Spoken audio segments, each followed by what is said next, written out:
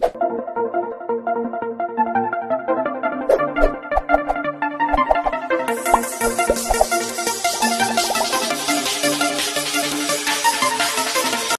Good morning everybody मैं सभी का स्वागत करता हूँ फिजिक्स ज्ञान मुकेश ने एक चैनल पे। आज हम लोग सेमीकंडक्टर जो डिवाइस चैप्टर्स है, उसका सेकंड लेक्चर ले रहे हैं। इसके पहले मैंने जो वीडियो बनाया ना भैया, वो देखना बहुत ही ज़रूरी है, क्योंकि इस चैप्टर को दो हिस्सों में बांटा गया है। इलेवेंथ में आधा चैप्टर्स और ट्वेल्थ में आधा। और आपको तो पता ही है, हम लोग इलेवेंथ की पढ़ाई तो करते नहीं है रेस्ट ईयर मानते हैं।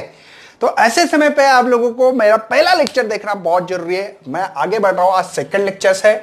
उसमें हम PN junction diode as a rectifier हमने देखा था कि जो एसी है, इस एसी को हम लोग डीसी करना चाहते हैं। ये एसी है हमारा। हम लोग इसको क्या करना चाहते हैं? डीसी करना चाहते हैं। लेकिन ये डायोड इस्तेमाल करते हुए क्या सही में डीसी स्मूथली देख पाएँगे? नहीं। इसलिए हमने ब्लॉक डायग्राम इस्तेमाल किया था। पहले डायोड रेक्टिफायर बाद में हमने फ़िल्टर लगाया था। बाद में हमने एक वोल्टेज रेगुलेटर तब हमको यह स्मूथ मिला था। मतलब स्मूथ तो नहीं मिलने वाला है, लेकिन करीब करीब वो रिपल बोलते इसको। रिपल फैक्टर मतलब एक तरफ़ मिल जाएगा। एक तरफ़। ऊपर की तरफ़। ऐसे, ये डीसी मिलेगा, लेकिन ये प्योर डीसी नहीं है भैया। ठीक है ना? तो ये आज के लेक्चर में हम लोगों को देखना है कि एसी साइनोसाइडल जो है, हम लोग उसको करने वाले हैं वन साइकिल में कन्वर्ट होगी यहाँ तक ही करने वाले हैं। चलो तो सबसे पहले जो रेक्टिफायर जो नाम दिया है रेक्टिफायर का काम होता है भैया वन साइकिल में कन्वर्ट करना है। मतलब इसका काम होगा AC into DC bus it is electronic device which work on AC into DC alternating current जो हमारे घर पे आ रहा है, उसको हम लोग डायरेक्ट करंट में कन्वर्ट करने वाले वोल्टेज बोलो करंट बोलो, जो भी, है ना? तो चलो तो बच्चों, हम लोग इसके लिए पढ़ने वाले हैं half wave and full wave rectifier उसमें दो हिस्सा। एक्चुअल में एक बात बताओ। हम लोग जो पढ़ रहे ना, वो खाली इंट्रोडक्टरी लेक्चर जैसा लेक्चर है। पहले हाफ़ वेव होता है, बाद में फुल वेव रेक्टिफायर है, बाद में ब्रिज रेक्टिफायर से। वो तो पढ़ते ही नहीं हम लोग। हम तो बस एक छोटा मोटा सा टच अप्रोच देने की कोशिश करते, बस दूसरा कुछ नहीं। बात समझे? अगर गलती से आप लोग अगर इंजीनियरिंग करोगे, वो भी electronics and electronic communication system में कम्युनिकेशन में, तब इसको हम लोग डिटेल्स में पढ़ सकते हैं। अभी तो आपको यार ओनली पहचान है, पहचान करके दे रहे, बस। तो चलो हम लोग इसके लिए पढ़ने जा रहे हैं हाफ़ वेव रेक्टिफायर आपके बुक्स के हिसाब से 16.2.1 है। हाफ़ हाफ़ वेव क्या? रेक्टिफायर पढ़ने वाले, ठीक है? काम क्या है इसका? एसी इंटू डीसी का काम होता है। किसका भैया? रेक्टिफायर का। डायग्राम ड्रॉ करूँ मैं? सबसे पहले डायग्राम ड्रॉ करता हूँ, जो आपका एसी आ रहा है, ये। ठीक है? ये एसी आपके घरों में जो आ रहा है। उसको हम लोग लगाने वाले, यहाँ पे लिख सकते हैं टू थर्टी वोल्ट पचास हार्ड फ्रीक्वेंसी याद होगा आपको, लिखना है तो लिख सकते नहीं लिखा तो कोई प्रॉब्लम नहीं। ये ट्रांसफार्मर है। इस ट्रांसफार्मर का काम क्या होता है?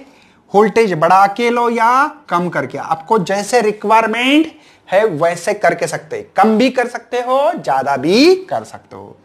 ठीक है, ये है ट्रांसफार्मर इस ट्रांसफार्मर से हम लोग कम ज़्यादा वोल्टेज कर सकते हैं। हम लोग इस डिवाइस में कम ही करते हैं। सबसे मेन बात ध्यान क्या रखना है? कम ही करने वाले हैं, क्योंकि ये जो डायड ऑपरेट होते हैं, एक सिक्स वोल्टेज पे या 12 वोल्टेज पे 24 वोल्ट पे। ऐसे ही ये कम वोल्टेज पे ऑपरेट होने वाले डायोड इस्तेमाल कर रहे दिखाई दे रहा है आपको? ओके ऑल इज़ वेल है? हाँ। तो ये जो डायोड है, कम। मतलब मुझे बताओ, घर में कितना आ रहा है? 230 मुझे कितना करना है? 24 वोल्ट। एक कंसिडर कर रहा हूँ। तो कौन सा होगा? स्टेप डाउन ट्रांसफार्मर कम चाहिए तो स्टेप डाउन बढ़ा के 230 से 500 होना है तो स्टेप अप स्टेप अप बोलते हैं। ये स्टेप डाउन ट्रांसफार्मर है। तो ये लगाया मैंने। डायोड डायोड के बारे में भी आपको बताया। याद है ना? क्या भूल गए भैया? और यहाँ पे लगाएँगे हम लोग ऐसे एक लोड रेजिस्टेंस जिसके अक्रॉस में हम लोग देख पाएँगे। मतलब आप लोग यहाँ पे ऐसे आपके बुक्स में नहीं है, मैं दे रहा हूँ आउटपुट वोल्टेज मतलब अपने मल्टीमीटर रखा है भैया? घरों में अगर कुछ प्रॉब्लम रहा तो वो इलेक्ट्रिशियन क्या लेके आता है? मल्टीमीटर वोल्टेज चेक करता है, कुछ चेक करता है। देखा होगा ना? वैसे दो इसमें डालो तो आउटपुट वोल्टेज यहाँ पे मिलने वाला है। ठीक है? ये बुक्स में आपके नहीं है। चलो, मैं बढ़ रहा हूँ आगे। भैया, इसको कहते हैं प्राइमरी ट्रांसफार्मर और इसको कहते हैं secondary transformer S one S two P one P two नहीं, आपके बुक्स में ठीक है, कोई प्रॉब्लम नहीं है। आपके बुक्स में ए बी सी डी ऐसा लिखा होगा कुछ। समझ में आ गया? ये है आपका half wave rectifier only one diode इस्तेमाल किया है। मैंने क्या बोला? ये क्या करेगा? देखो, इसका फ़ायदा क्या है? ये लगाने से। नंबर एक, आपको स्टेप अप या स्टेप डाउन वोल्टेज कम कर सकते या ज़्यादा कर सकते, ये इसका एक फ़ायदा है।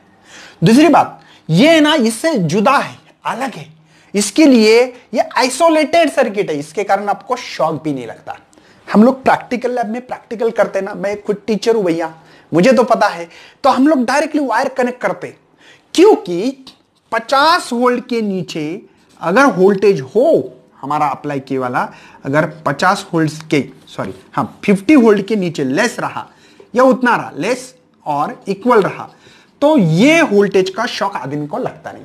और ये डायोड तो छह, बारह, चौबीस वोल्ट पे ऑपरेट होने वाला है। इसलिए डायरेक्टली वायर कनेक्ट करो। देखो, यहाँ पे नहीं मिला, हाथ नहीं लगाना है। जो हमारा पावर सप्लाई होता है, उसको हाथ मत लगाना। उसके बाहर इधर वाले सर्किट को डायरेक्ट वायर कनेक्ट करो, कुछ भी करो, हाथ लगाओ इस डायोड को, कोई शॉक नहीं लगेगा गारंटी भैया। समझ में आ रहा है ना? आपका डिवाइस अच्छा होना चाहिए, नहीं तो हाथ लगाओगे, बस पट भगवान, मर गया, ऐसा नहीं मत करना, ठीक है ना? तो ये जो है लेस वोल्टेज रहा 50 वोल्ट के, उसके वोल्टेज नीचे वाला हम लोगों को लगता नहीं। एग्ज़ाम्पल एग्ज़ाम्पल घर पे करना है, कर सकते देखो, आपका चार्जर है, वहाँ पे भी ट्रांसफार्मर है। चार्जर ला, लगाया ना। देखो, हाथ में पकड़ो, शौक नहीं लगता आपको। कभी लगाया किसी को? आपका चार्जर खराब हो तो लगेगा, लेकिन अच्छा हो तो नहीं लगेगा, है ना? तो ये है ट्रांसफार्मर, ठीक है? दो फ़ायदे क्या है? एक तो कम ज़्यादा वोल्टेज करना, दूसरा, ये आइसोलेटेड होने से ये रिक्स नहीं है हमारी कि हम लोगों को शॉक लगे। चलो, सर, पढ़ा दो। सबसे पहले देखो, हम लोग पहले यहाँ पे यहाँ पे एसी वोल्टेज अप्लाई कर रहे हैं। ये एसी का सिंबल है, देखो। ये एसी का होता है और डीसी का ये होता है। पॉजिटिव नेगेटिव डीसी सोर्स है भैया। ये एसी सोर्स है। एसी सोर्स है। ठीक है ना? तो हम लोग एसी जो दे रहे हैं, ये है। आपके बुक्स के हिसाब से। एक, दो, तीन, चार, पाँच, ऐसे। ठीक है? और ये है हमारा एसी जो इनपुट दिया गया है इस सर्किट को। और ये हम लोगों को डीसी देखना है। चलो।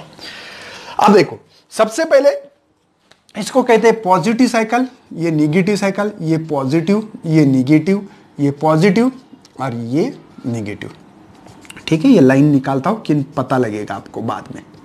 बहुत सिंपल क्वेश्चन है। ये तीन मार्क के लिए सवाल आ सकता है। दो मार्क के लिए भी आ सकता है, लेकिन डायग्राम के कारण तीन मार्क आता है चलो, सबसे पहले मैंने यहाँ पे प्राइमरी से यहाँ पे गया। यहाँ पे पहली पॉजिटिव साइकिल ऊपर पॉजिटिव मतलब पॉजिटिव ऊपर निगेटिव रहा तो निगेटिव देखो, ये पॉजिटिव साइकिल पॉजिटिव साइकिल देने के बाद मैंने डायोड को आपको कहा था इसके पहले वाला लेक्चर्स अगर इसको कहते हैं भैया एनोड इसको कहते हैं कैथोड अगर आपका ये हाइयर पोटेंशियल हो और ये लोअर पोटेंशियल हो हाइयर लोअर की बात मैंने की थी। हाइयर मतलब पॉजिटिव ही नहीं है। हाइयर मतलब यहाँ पे ज़ीरो वोल्ट यहाँ पे माइनस फाइव वोल्ट तो भी ये हाइयर है भैया माइनस फाइव से ज़ीरो बड़ा है। तो हाइयर पोटेंशियल ये लोअर पोटेंशियल रहा तो डायोड कंडक्ट होता है। कंडक्ट होता है। मैंने बताया था, याद है? तो यहाँ पे पॉजिटिव साइकिल है एनोड का ये एनोड है। और ये कैथोड को निगेटिव मतलब ये है भैया फॉरवर्ड बायस में। फॉरवर्ड बायस में करंट फ्लो होता है। देखो ये पॉजिटिव साइकिल जब दी, तब डायोड कंडक्ट हो गया। करंट फ्लो किया उसने। समझे? कहाँ मिलेगा ये? यहाँ पे डाल दो मल्टीमीटर का, मिल जाएगा आउटपुट वोल्टेज कुछ ना कुछ दिखेगा, ऐसा फ्लक्चुएशन होगा उसमें। अच्छी बात है। दोबारा, अब क्या आ गया भैया? निगेटिव साइकिल देखो, ये पॉजिटिव साइकिल आ गई, ये पॉजिटिव लिया था अब यहाँ पे निगेटिव स्टार्ट हो रहा है तो यहाँ पे आएगा निगेटिव ये होगा आपका पॉजिटिव समझे ना, ऊपर निगेटिव क्यों? फ्लक्चुएशन हो रहा है एसी है ना एसी का काम होता है जुम जुम जुम जुम करना। Negative positive negative positive negative positive positive negative जो भी। अब निगेटिव आ गए। निगेटिव आया तो यहाँ पे हो गया निगेटिव और ये हो गया भैया आपका पॉजिटिव अब मुझे बताओ, ये कौन सा डायोड है? रिवर्स बायस रिवर्स बायस में करंट फ्लो होता नहीं है, क्योंकि इस डायोड का काम है यूनी डायरेक्शन यूनी डायरेक्शन एक ही तरफ़ से वो करंट फ्लो कर सकता है। तो मेरा पहला करंट यहाँ से फ्लो हो रहा था ऐसे। समझ में आ रहा है? अभी देखो निगेटिव डायोड कंडक्ट होगा क्या? नहीं करंट फ्लो होने वाला नहीं। निगेटिव साइकिल जब थी, तब डायोड में से करंट कोई भी करंट फ्लो नहीं हुआ है। देखो ये ज़ीरो की ही लाइन है ये। दिख रही है आपको? दोबारा, ये पॉजिटिव साइकिल आ गई पॉजिटिव आ गई तो यहाँ पे पॉजिटिव यहाँ पे निगेटिव पॉजिटिव आया तो एनोड है पॉजिटिव को कैथोड है निगेटिव को। क्या होगा? करंट फ्लो होगा, इसमें से ऐसे ऐसे ऐसे करंट फ्लो होगा। पॉजिटिव से निगेटिव करंट फ्लो होता पता है ना आप लोगों को? तो ये डायोड कंडक्ट हो रहा है कि नहीं है? हो रहा है। क्यों? उसको फॉरवर्ड बायस कहते हैं। पहला लेक्चर देखना बहुत ज़रूरी है तो करंट फ्लो करेगा। इसके अक्रॉस में आपको वोल्टेज मिलने वाला है। तो यहाँ पे पॉजिटिव पे आपको मिल रहा है। देखो ये। समझे? कोई टेंशन है भैया? ओके दोबारा, यहाँ पे, देखो निगेटिव साइकिल ये देखो, ये होगी ये होगी। ये भी हो गया। अभी ये निगेटिव यहाँ पे निगेटिव यहाँ पॉजिटिव यहाँ निगेटिव ये पॉजिटिव डायोड कंडक्ट होगा क्या? क्योंकि इसके एनोड को लो पोटेंशियल और कैथोड को हाई पोटेंशियल तो कंडक्ट नहीं होता है करंट फ्लो होता नहीं है। इसके कारण दोबारा यहाँ पे ये। बाद में पॉजिटिव पे दोबारा ये दोबारा ये। समझे? मतलब भैया, ये जो रेक्टिफाई कर रहे हैं हम लोग ओनली हाफ़ साइकिल रेक्टिफाई हो रही है। पूरी साइकिल हो रही है क्या? नहीं। इसीलिए इसका नाम रखा गया है हाफ़ व्यो रेक्टिफायर हाफ़ क्यों बोला है? क्योंकि इसकी आधी साइकिल वेस्टेज जारी है और आधी ही साइकिल रेक्टिफाई हो रही है। आधी साइकिल में से करंट फ्लो हो रहा है। इसीलिए इसका नाम रखा गया है हाफ़ व्यू रेक्टिफायर भैया, इसका डिसएडवांटेजेस क्या है? तो उसमें से हाफ़ साइकिल वेस्टेज जा रही है। एडवांटेजेस एडवांटेजेस तो बोल नहीं सकते, लेकिन बोल दूँगा कि इसमें है ना, कम खर्चे में ये कर सकते हैं। क्या एक की डायोड इस्तेमाल किया है? कोई सेंट्रल टैब नहीं है, कुछ नहीं है। बहुत सिंपल सर्किट बनाया है ये, इसलिए इसका ये फ़ायदा है। पैसे कम लगते हैं। सर, पैसे बचाने से क्या है फ़ायदा है? लेकिन कितना वेस्टेज डाल रहा है ना यहाँ पे, इसका खर्चा कौन उठाएगा? तो यहाँ पे ये साइकिल जा रही है वेस्टेज इसीलिए इसका नाम क्या रखा गया है? हाफ़ व्यू रेक्टिफायर क्या नाम है? हाफ़ व्यू रेक्टिफायर समझे? कोई टेंशन नहीं होना चाहिए। बहुत सिंपल और सीधा सा लॉजिक है इसमें। समझ में आ रहा है? ये ट्रांसफ़र करने का काम करता है। वोल्टेज बढ़ाने का, कम करने का। मुझे कम चाहिए। सही में इसको ऐसा निकलना चाहिए था। देखो, ये ये ज़्यादा प्राइमरी की वाइंडिंग और सेकेंडरी के कम निकालना चाहिए। एज पर लॉजिकली आपकी बुक्स में लॉजिक नहीं इस्तेमाल किया है क्या? नहीं किया है। देखो, वहाँ पे भी ये ना वाइंडिंग कम है। एक्चुअली ऐसा लिखना चाहिए था ना मैंने। एक, दो, तीन, बस हो गए। और ये ज़्यादा है। देखो, ये कम है, ये ज़्यादा। क्यों? क्योंकि ये स्टेप डाउन ट्रांसफार्मर है। समझे ना? स्टेप डाउन है, कम वोल्टेज कोई शक है भैया? बढ़ना आगे। हम लोग अब पढ़ेंगे, यही हाफ़ योग को फुल योग करने वाले। क्या करने वाले? फुल योग देखो, इसी को मैं आगे बढ़ रहा हूँ। Full wave rectifier. क्या है सर, दोनों में डिफरेंस अब भी समझ में आएगा, आपको दिखाई तो दे रहा है। कोई टेंशन नहीं, मैं इसी को आगे बढ़ाने की कोशिश कर रहा हूँ। ठीक है? अब देखो, बस, कुछ नहीं। छोटे छोटे चेंजेस करूँगा। ध्यान रखना है मैं क्या कर रहा हूँ और क्या नहीं। यहाँ पे सेम है, देखो एसी ट्रांसफार्मर वही है। यहाँ पे आपका डायोड भी, यहाँ पे ओनली एक डायोड इस्तेमाल और करेंगे, देखो। जो डायोड था आपका, ये डायोड को एक इस्तेमाल किया है, ठीक है? तो ये जो है, ये, ठीक है? दो डायोड इस्तेमाल किया बस इसका यहाँ से आउटपुट लेना हम लोगों को। और एक सेंट्रल टैब बोलते इसको। क्या बोलना है? सेंटर मतलब वोल्टेज को डिवाइड करने वाला। ये है मेरा लोड रेजिस्टेंस ये है आउटपुट वोल्टेज समझे? तो ये डायड को नाम देना है D1 और इसको D2 और ये है सेंट्रल टैप समझे? कोई टेंशन है? क्या किया मैंने? एक डायोड बढ़ा दिया load resistor as it is है। सेंट्रल टैप इसका काम होता है वोल्टेज को डिवाइड करना। आधा इधर जाओ, आधा इधर जाओ, बाकी मेरे पीछे आओ। बस साइकिल भी वही है। करना स्टार्ट ये देखो आप क्या होता है। फुल योग क्यों नाम रखा गया उसका? सबसे पहले आपको पता है ऐसी इनपुट वोल्टेज दिया। जाने के बाद यहाँ पे लो वोल्टेज आएगा। पता है क्यों? क्योंकि ये डायोड कम वोल्टेज पे ऑपरेट होते हैं, इसलिए स्टेप डाउन ट्रांसफार्मर इस्तेमाल किया है। वोल्टेज दिया। पहली साइकिल आएगी देखो, यही है। क्वेश्चन वही है। मैंने देखा यहाँ पे कि वोल्टेज अप्लाई करने के बाद ये पॉजिटिव हो गया, ये निगेटिव। क्यों? क्योंकि भैया, पॉजिटिव साइकिल। मैंने बोला ना, पॉजिटिव रहा तो ऊपर पॉजिटिव। निगेटिव रहा तो ऊपर निगेटिव। तो ऑब्वियसली ऑपोज में आने वाली इधर। आपको क्या कहा है मैंने? अगर किसी डायोड के, इसको कहते हैं एनोड और इसको कहते हैं कैथोड एनोड को अगर हाइयर पोटेंशियल हो हाइयर मतलब हम लोग यहाँ पे positive negative actually positive negative नहीं है हाइयर लोअर पोटेंशियल है। यही गलती करते हैं बच्चे। मैंने इसलिए पहला लेक्चर बनाया एंड में जाके देखो। हाइयर पोटेंशियल बोला है मैंने। और ये है लोअर पोटेंशियल अब मुझे बताओ भैया मतलब हम लोग पॉजिटिव बोलेंगे, फ़िलहाल में इसको निगेटिव इसके डायोड डी वन के, ये एनोड मैंने बोला ना ट्रायंगल का बेस एनोड होता है, और जो टॉप व्यू होता है, वो कैथोड होता है. तो एनोड है पॉजिटिव को कैथोड है निगेटिव को. मतलब डायोड डी वन कंडक्ट हो रहा है. फॉरवर्ड बायस से फॉरवर्ड बायस हो रहा है कंडक्ट हो रहा है क्लोज सर्किट को हो क्लोज मतलब ऑन है. मतलब करंट फ्लो हो रहा है। मैंने देखा, जब भी पॉजिटिव साइकिल थी, तब डायोड डी वन कंडक्ट हुआ है। डायोड डी वन कंडक्ट हुआ है। अच्छी बात है सर बहुत बढ़िया। अब देखो, नीचे। तब भी डायोड डी टू ये रिवर्स बायस में था। करंट फ्लो नहीं कर रहा है ये। देखो, ये करंट फ्लो नहीं कर रहा है। नेगेटिव सॉरी ठीक है? हाँ बराबर diode D two is reverse bias है। क्यों? इसके एनोड को लोअर पोटेंशियल और इसके कैथोड को हाइयर पोटेंशियल है। तो रिवर्स बायस में। मतलब जब पॉजिटिव साइकिल हो, तब डायोड डी वन कंडक्ट हो रहा है, या कह सकते हैं फॉरवर्ड बायस है। और डायोड डी टू है, ये रिवर्स बायस है। बात समझ में आ रही है? कब भैया? ये चालू है मेरी पॉजिटिव साइकिल जब है तब।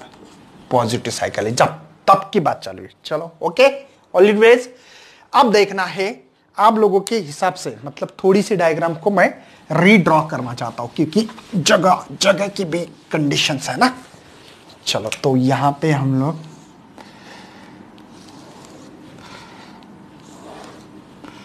ठीक है? ये डायग्राम है। और ये आपका वो फॉर्म निकालने वाला हूँ मैं। ठीक है।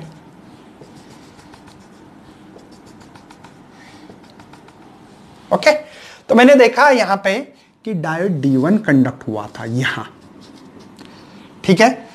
यहाँ पे डी1 डायोड डी1 की बात करेंगे, यहाँ पे डी2 और ये टोटल की बात करेंगे, ठीक है? आपके बुक्स के हिसाब से।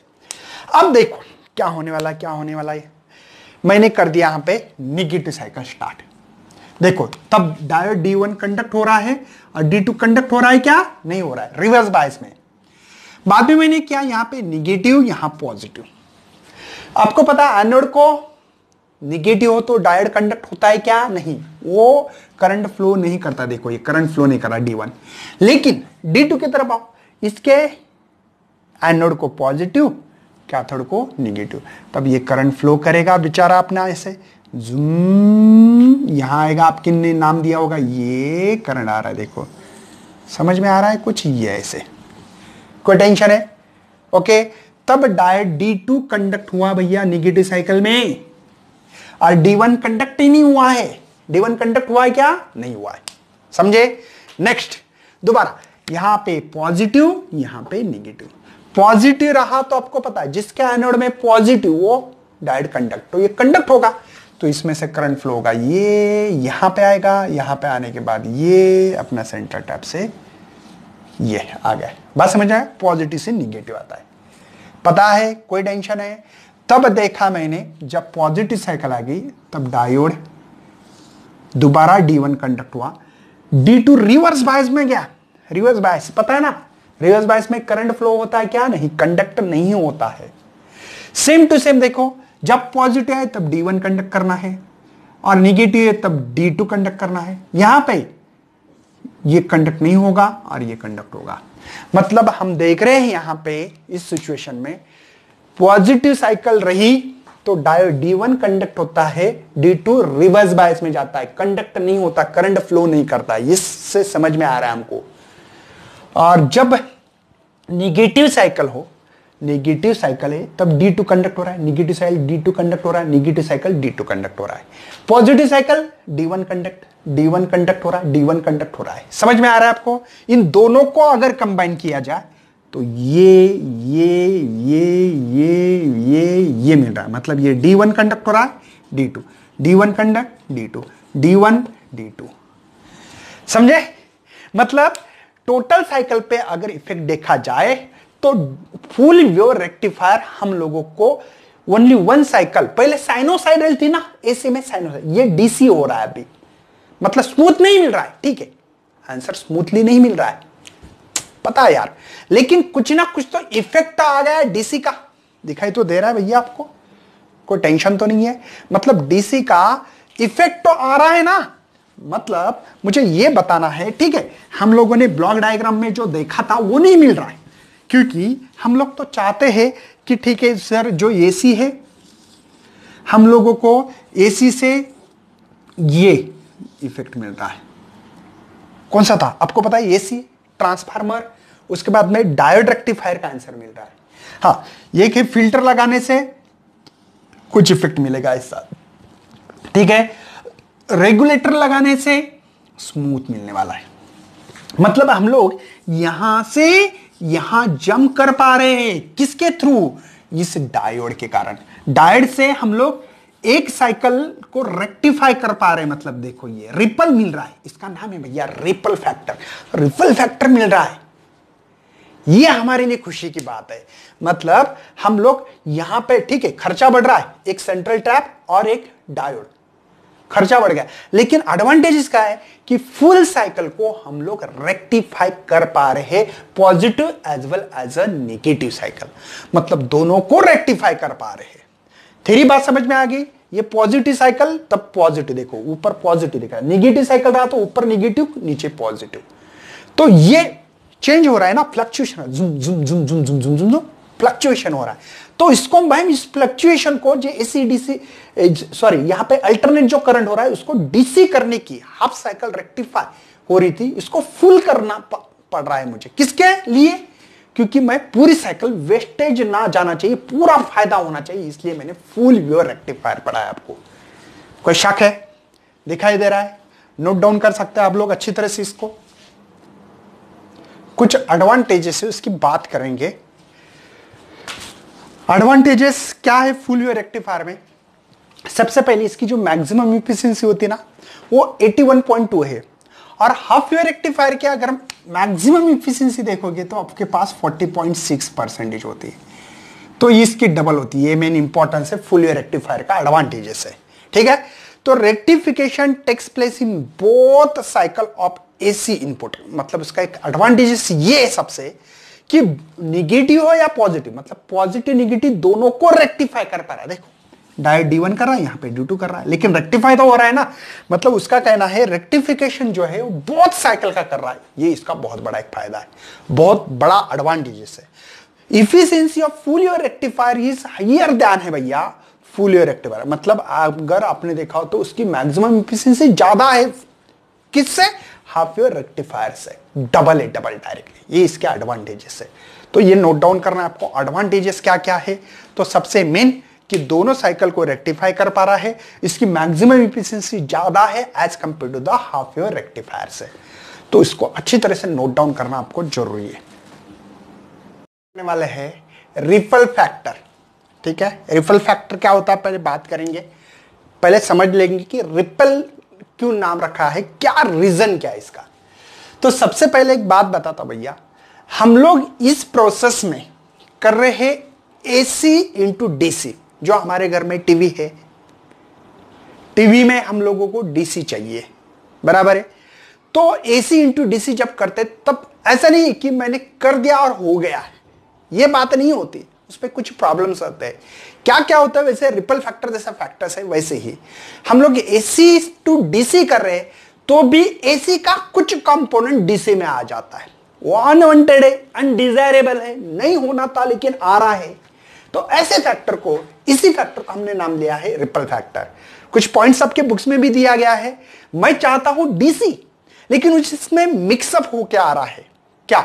एसी जैसे कि पहले नॉइस कम्युनिकेशन सिस्टम में इलेवंथ में पढ़ा था आपने। नॉइस नॉइस क्या होता है? अनवांटेड अनडिजायरेबल साउंड मतलब जैसे कि मैं सुनना चाहता हूँ आपकी आवाज़, लेकिन मुझे बीच में कुछ आवाज़ आ रही है। अनडिजायरेबल है वैसे हम चाहते थे डीसी चाहते थे, लेकिन एसी उस कंपोनेंट में आ रहा है। डीसी के कंपोनेंट में एसी मिक्सअप हो रहा है। और उसके कारण क्या हो रहा है? स्मॉल फ्लक्चुएशन हो रहा है। एसी का आ रहा है। इसी को हम रिपल कहते हैं। मतलब output of rectifier consider small fraction of AC कुछ एसी का कंपोनेंट आ जाता है। नहीं होना था। मैं चाहता हूँ क्या? नहीं।